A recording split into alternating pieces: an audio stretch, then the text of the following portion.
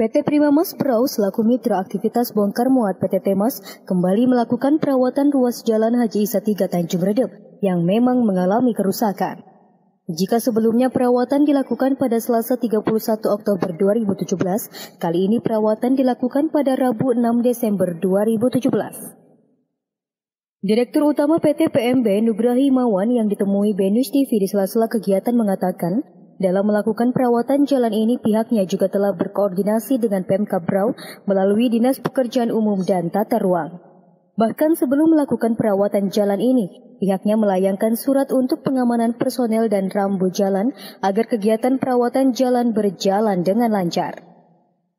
Selain itu dikatakan Mawan, perawatan jalan ini merupakan bentuk partisipasi pihaknya sebagaimana komitmen awal yang disampaikan saat rapat di Dinas Perhubungan Brau.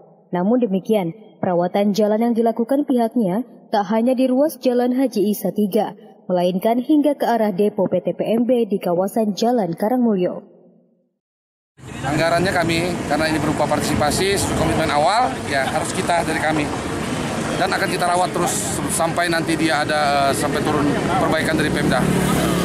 Sesuai kita komitmen aja, sampai ada mungkin turun anggaran mereka Pemda perbaiki atau bagaimana yang selama kita gunakan kita tetap sama-sama kita akan partisipasi selalu partisipasi.